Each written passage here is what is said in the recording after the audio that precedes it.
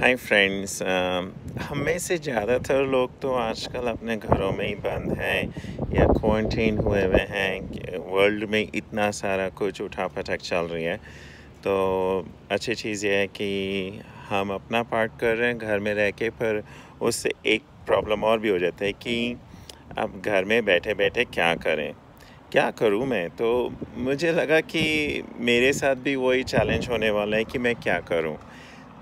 मैंने क्या किया है कि मैंने एक नोट बनाया अपने फ़ोन पे और उसमें मैंने लिखना शुरू किया कि मैं क्या क्या कर सकता हूँ खाली समय में। एंड uh, जैसे मुझे कोई आइडिया बोलता है या कोई चीज़ बोलते हैं तो मैं उसमें लिख लेता हूँ। और आई वॉज़ सो सरप्राइज्ड कि मैंने जब लिखना शुरू किया था तब मैंने ऐसे ही लिखना शुरू किया था। अब उसमें 20 से ज़्यादा चीज़ें हो गई हैं जो मुझे लगता है अगर मुझे फ्री समय मिला तो मैं करना चाहूँगा। तो मैं आपको अपनी वो चीज़ें बता देता हूँ कि मैंने क्या क्या लिखी हैं। तो जैसे मेरे पास एक न्यूट्रिशन की मैगज़ीन भेजी थी टाइम्स की तरफ़ से। आ, मैं व्लॉगिंग सीखना चाहता हूँ मैं एवरेस्ट डॉट कॉम एक वेबसाइट है उसको देखना चाहता हूँ।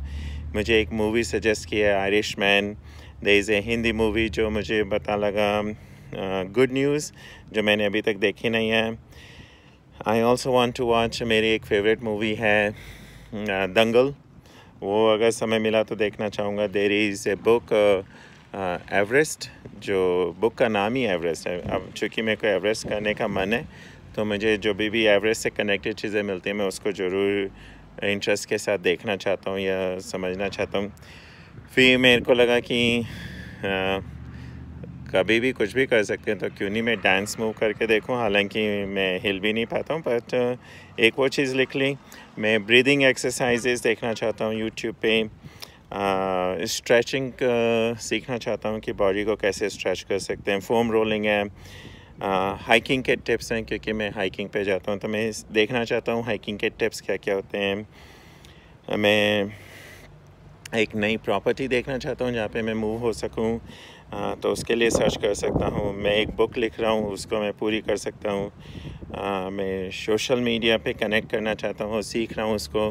तो मेरे ये सब चीज़ें इसके अंदर मैं लिखता जा रहा हूँ। तो होता क्या है कि जब भी मेरे पास कुछ भी खाली समय होता है, मैं इस लिस्ट में देख लेता हूँ कि मुझे क्या क्या ऑप्शन हैं।